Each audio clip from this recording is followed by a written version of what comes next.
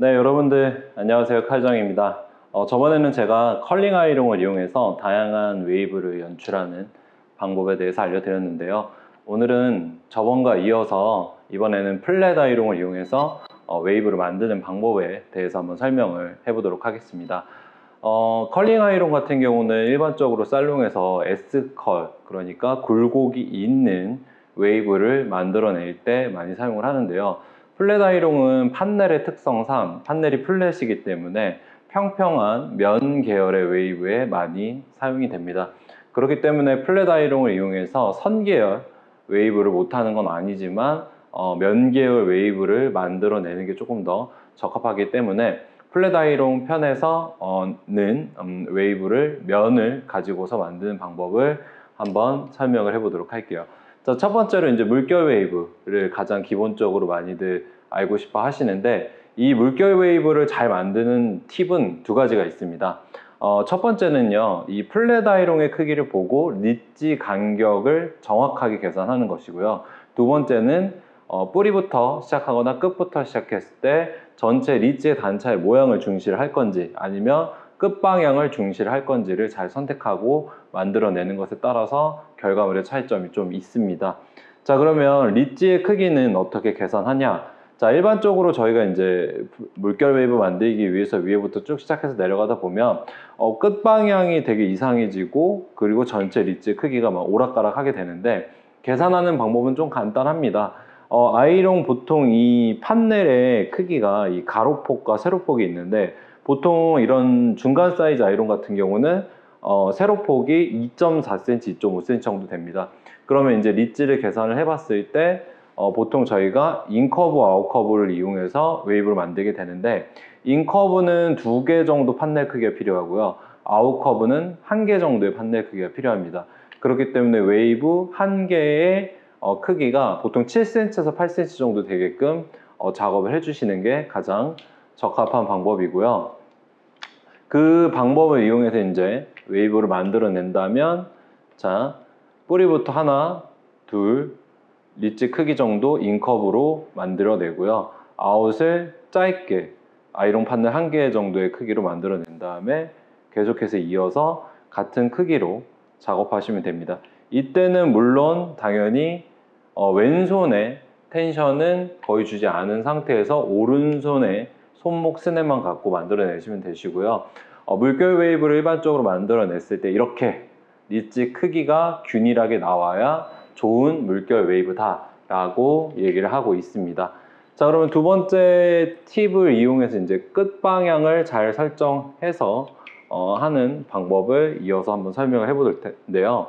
일반적으로 지금 만든 웨이브 같은 경우는 음, 끝방향을 아웃커브도 인커브를 설정하기는 좀 어려움이 있어요. 그 이유는 뿌리부터 시작하기 때문에 웨이브 크기를 어, 균일하게 만들어낼 수는 있지만 끝방향은 정확하게 설정을 못하는 단점이 있습니다. 자, 그럴 때 이제 끝에서부터 진행을 하게 되는데 내가 만약 아웃 커브를 진행하고 싶다. 그러면 아이론 크기 두 개 정도 위치부터 시작을 하셔서 역방향으로 물결 웨이브를 자 만들어 주시면 됩니다. 자 여기서도 짧게 눌러주고 다시 길게 눌러줘서 자 짧게 눌러주는 방법 이용하셔서 이렇게 만드시면 물결 웨이브를 만들어내셨을 때 끝방향을 좀 정확하게 만들어낼 수 있고요.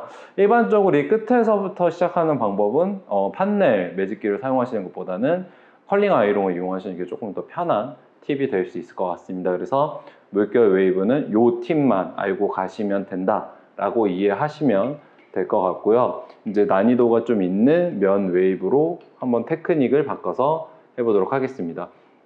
요새 좀 이제 스타일링 방법이 좀 고도화되고 어, 테크닉의 방법들이 좀 어려워지면서 여러 가지 판넬 매직기를 이용한 어, 웨이브 테크닉들이 나오는데 조금 제 생각에는 너무 두서 없이 정리 없이 그냥 테크닉 위주로 좀 보여주지 않나라는 생각을 하고 있습니다. 그렇기 때문에 어, 저는 좀 테크닉을 우선해서 좀 설명을 드릴 거고요. 웨이브 모양에는 특별한 이름을 붙이지 않겠습니다.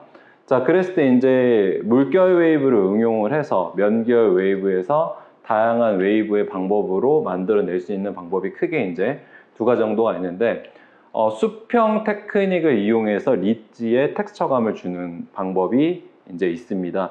그래서 흔하게 우리가 이제 고객님들이 어, 단발머리 기장이나 혹은 물결 웨이브보다는 조금 더 텍스처감이 있는 걸 좋아하시는 고객님들이 선호하시는 테크닉이고요. 자, 뿌리에서 들어가서 똑같이 리지 계산하고 나오다가 자, 아웃 커브로 들어가기 전에 자, 수평으로 오른쪽으로 이동하시면서 작업해 주시면 됩니다. 여기서 수평으로 이동해서 이렇게 리지 잡고 내려가는 거죠. 자, 이때 주의할 점은 텐션을 당겼으면 텐션을 밀어주면서 오른쪽으로 가서 끝 처리를 해서 이렇게 빼주는 게 중요하고요.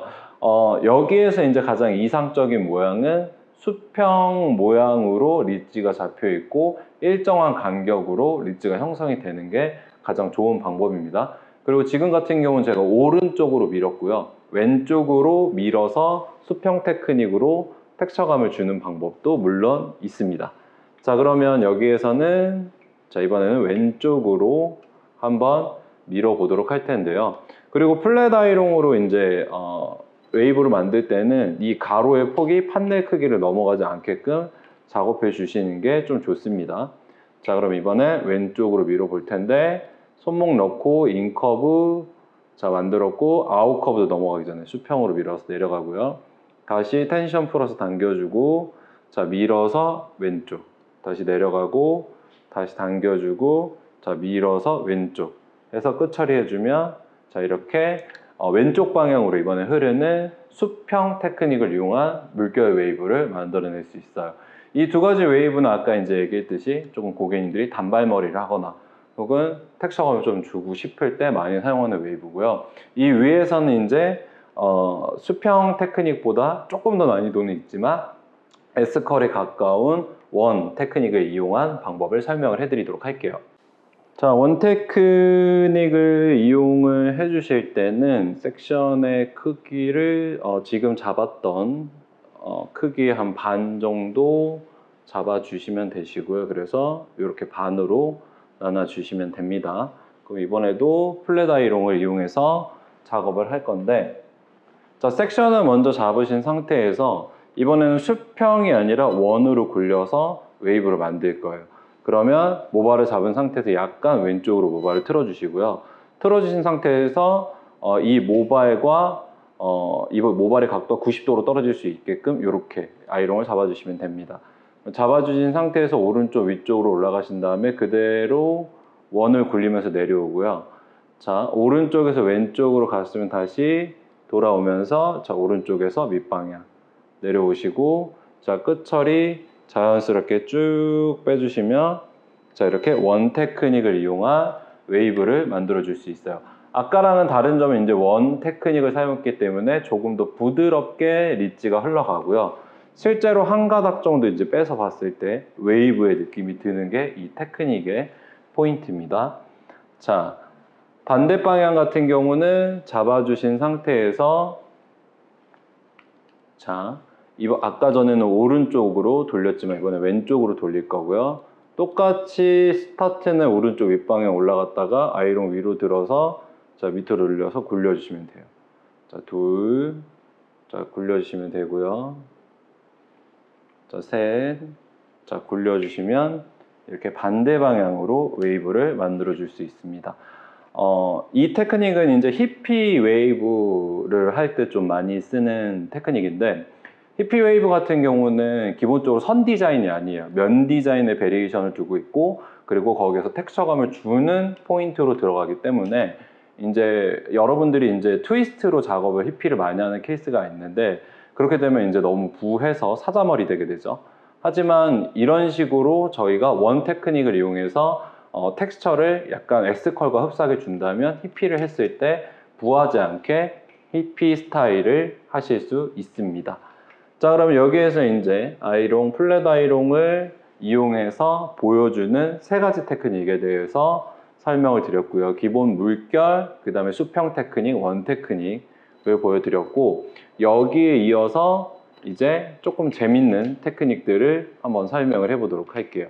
자, 이번에는 이제 S컬 와인딩 방법을 응용을 해서 자, 웨이브를 넣는 방법을 한번 자, 작업을 해볼 텐데 어, 똑같은 물결 웨이브 느낌이지만 S컬 테크닉을 이용해서 조금 더 볼륨감을 주는 테크닉으로 어, 지금 보여주는 이 테크닉을 많이 사용하고 있습니다.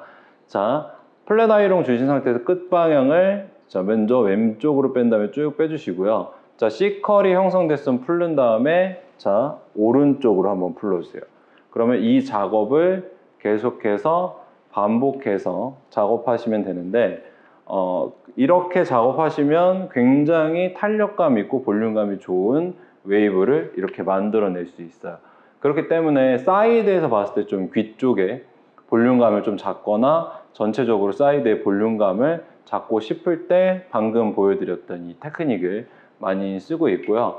어, 이 테크닉의 정확한 명칭은 모르겠어요. 근데 뭐 이렇게 많이 하니까 제가 뭐 여기다 이름을 붙이는 건 너무 좀 이상해서 일단은 그냥 테크닉만 가지고서 설명을 드리고요. 여기까지 진행하도록 하겠습니다. 감사합니다.